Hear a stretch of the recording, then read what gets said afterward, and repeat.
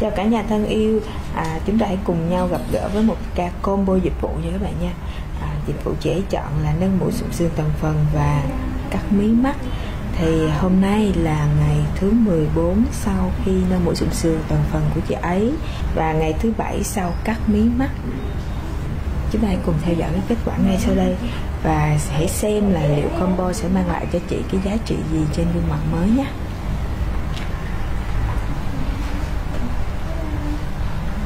Em chào chị. Chào em. Ừ, Hôm nay Vinh vừa mới cắt à, chỉ mắt với lại chỉ mũi đúng không chị ha? Dạ. À đây là chiếc mí vào ngày thứ bảy nha các bạn. Dạ. Và chiếc mũi ngày thứ 14 Các bạn hãy cùng quan sát sự khác biệt trên gương mặt chị ấy sau 14 ngày mũi và 17 ngày mắt nha các bạn. Thực tế thì đôi mắt sụp mí cũ của chị ấy và cái phần mũi thấp đã khiến cho gương mặt chị à, thiếu sức sống ha và trông nó hơi bị buồn. Sau khi cắt mí à, trẻ hóa toàn bộ đôi mắt và nâng mũi thì các bạn cũng có thể so sánh trực diện là bây giờ chỉ trẻ hơn chắc phải tầm 5 tới 7 tuổi ha.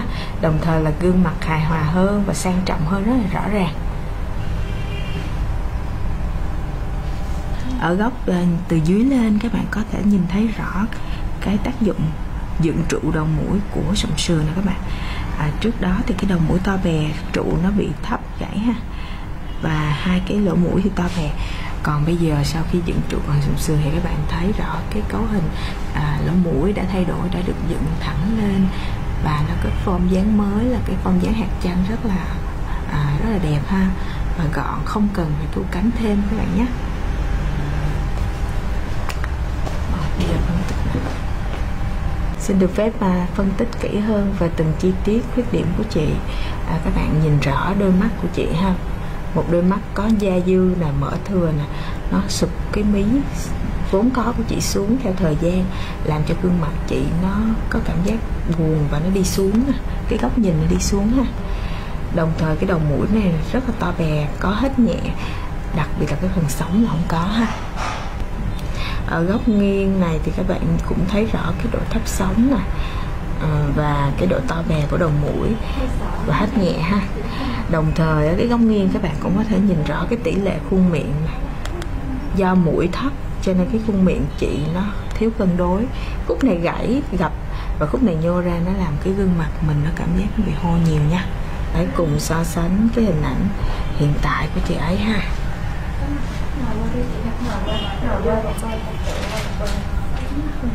thật sự mà nói thì đây là một cái cuộc lột xác có thể nói là như vậy đối với chị.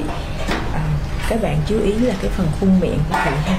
Khi cái mũi có tỷ lệ đẹp rồi á tự khắc cái khuôn miệng nó cân đối hơn và nó làm cho cái miệng chị nó xinh nó nhỏ nhắn hơn giảm bớt cái tình trạng đưa ra phía trước ha chị ơi mới ngày thứ 14 mà em thấy nó rất là tự nhiên luôn rất là đẹp. Luôn thậm chí là cái đường mí mắt của chị á nó mờ vết đỏ rồi. Một thời gian nữa thì nó sẽ gom lại còn nhỏ hơn gọn hơn ha tự nhiên hơn ha. Và cái đường sẹo nó hầu như là không thể biết được.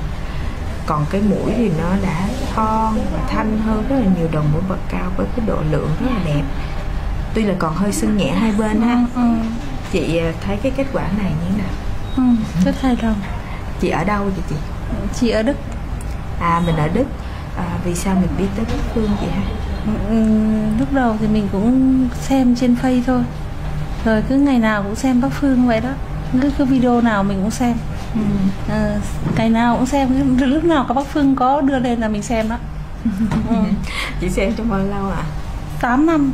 Wow 8 năm nhưng mà vì sao mà tới bây giờ mình mới quyết định làm? Ờ, lúc trước á, là mình định làm là mình cũng định lấy lần mà lần cuối cùng mình về đây nè. Lần cuối á, là mình về đây là mình ờ, định lấy lịch hẹn Bắc Phương rồi. Nhưng mà về nhà mấy chị cứ bàn ra bàn vào rồi cứ bảo là mày làm rồi không thở được đâu rồi nó đỏ nó sưng lên rồi lại mất công để sửa ở xa đó. Dạ. nhưng mà mình sau đó thì mình lại thôi xong rồi lúc mình sang lại thì xong rồi covid á không có về lại được á. Nó xong mà cứ ngày nào cũng theo dõi và cứ mong mong sau covid cho nó nhanh nhanh để con về gặp bác phương. Ừ. chị ơi vậy là do cái tác động của người ngoài làm mình sợ Ừ, đúng không mình chị? sợ. Đó các bạn rút kinh nghiệm điều này nha. Ừ. à, nó làm cho chị bị mất thêm mấy năm không được đẹp đúng không ạ? 8 năm lúc mà đẻ con bé là chưa đẻ con bé bây giờ con bé 8 tuổi rồi ôi chị có Ừ. cảm thấy tiếc về 8 năm của mình cũng nói chung là tiếc thì cũng tiếc nhưng mà đến bây giờ làm thì vẫn chưa muộn à đúng Ừ, rồi à, thật sự thì cái thời điểm mình làm càng, càng sớm càng tốt tuy Ừ. nhiên là làm được lúc nào là hay lúc đó đúng rồi ha. đúng rồi chị ơi em còn thấy cái hiệu ứng của cái mũi mang lại là giúp cho cái gò má chị nó giảm độ cao nữa ừ. rất là nhiều cái tác dụng kéo theo chị ha Ừ. ừ, vậy à cái chuyến đi lần này á lần trước thì mình bị nhiều người cản rồi Ừ. thì lần này thì sao chị? Lần này thì mình quyết tâm mình không nghe ai hết. Mình về là mình đặt bác sĩ lịch đúng sát ngày luôn mình về là ngày hôm sau mình đến đây luôn đấy là mình mình gỡ lâu thì mình sợ là các chị lại gàn rồi các chị lại nói người này kia là mình lại lại sợ ấy. ừ. lần này mình bảo thôi không nghe ai nữa. Lần này quyết tâm về là đi luôn. Vậy chồng mình thì sao? Chồng mình là người việt hay người đức chị hả? Chồng mình ờ, người người người Việt gốc Đức à, à người Đức gốc Việt à vậy thì Ừ. ảnh có cái Không. phản hồi gì không? anh thì anh bảo là ờ, em thì em lên đi làm răng đi Ừ. nhưng mà mũi em thì cũng không xấu đâu nhưng mà chị thì chị lúc nào chị cũng không có tự tin về cái mũi của mình Ừ. nên chị bảo em vẫn quyết định làm mũi hơn làm răng À. nếu mà răng thì lần sau em về em sẽ làm răng à, À. có nghĩa là chồng cũng không phản đối Không phản Tuy đối. nhiên- tuy nhiên là à, cũng sợ sợ cho vợ ha sợ là sợ là vợ sang rồi nhỡ mà đi làm rồi nó bị sao rồi chồng lại lại lo lại lắng xong lại phải về lại á anh quá là thế thương chị ừ. xong rồi à, mình bảo thôi em đợt này em quyết định em vẫn làm làm mắt với làm mũi một lần luôn Ừ. để cùng đợt này về là mấy năm mà không về với má mẹ. Ừ.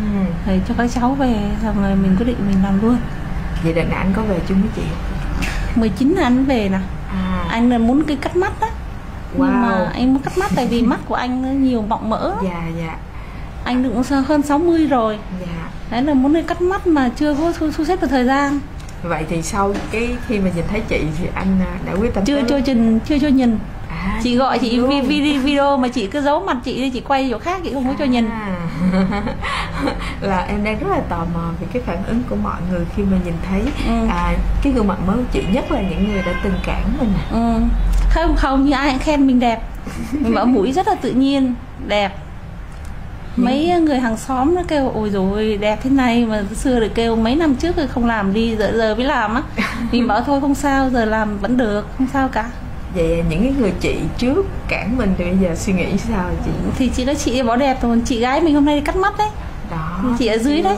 Ừ. dạ vậy là chị đó cũng sau khi thấy mình làm đẹp xong mình Ừ. hoàn toàn thay đổi cái thái độ Ừ. phẫu thuật thẩm mỹ chị ha ừ, ừ. chị cũng sợ đó mấy lần mấy lần cứ bảo thôi đi cắt mắt mà chưa biết đi được đâu mà tin tưởng á ừ.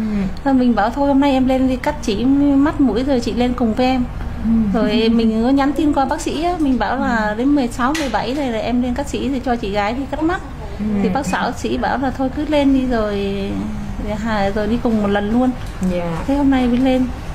Vậy thì à, bản thân chị thì cảm thấy như thế nào về cái kết quả này? Ừ. mình có giúp mình tự tin hơn và cảm Ừ. thấy cuộc sống yêu rất đời. là hài lòng ừ, rất là hài lòng và rất là tin tưởng bác sĩ. Và các em nhân viên cũng rất là ờ, thân thiện dễ thương nhẹ nhàng. Cắt chị mũi chị cũng sợ chị cũng bảo không biết có đau không nhỉ? Nhưng mà các chị cắt cũng không thấy đau. Thế ngứa ngứa rồi chị cũng không thấy đau. Ừ. cá nhân chị thì cảm thấy là trước đây không có tự tin về cái mũi thì bây giờ Ừ. thấy sao rồi? Ừ, rất hài lòng. Lúc nào cũng cầm gương xem cứ xem hoài với mấy người bảo xem nó mòn gương của tao thế mày. Tự nhiên mình cảm thấy là cơ thể mình nó có một cái Ừ. nguồn năng lượng mới chị ha và Ừ. mình tự tin hơn tức thì chị ha. Ừ, mình cũng tự tin.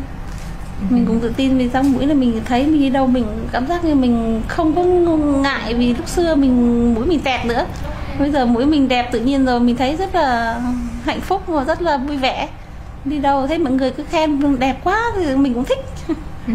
mà trong thời gian mà chị theo dõi pháp phương thì chị có phân vân về những cơ sở khác nữa không? Có quan không chưa xem ai hết. Chỉ có mỗi xem năm trời Chị xem mỗi Bắc Phương thôi. wow. Xem mỗi bắc phương thôi chắc là bác phương mà nghe được thông tin Ừ. này rất là 8 năm trước là mình chỉ xem Bắc Phương mà mọi người cứ bảo thì sao phải đi Sài Gòn Cần Thơ cũng được. Mình bảo mà không em chỉ cứ lấy lòng tin Bắc Phương thôi. Kể cả xa em cũng đi. Ừ. thật là may mắn và Ừ. cuối cùng cũng có duyên được làm Ừ. đẹp cho chị. Ừ. cảm ơn chị rất là nhiều. Ừ, chị cảm ơn các em. Ừ, rất là thân thiện rất là vui vẻ với uh, tất cả mọi người. Không riêng gì chị. Dạ. Dạ dạ em chào chị. Ừ, chào em.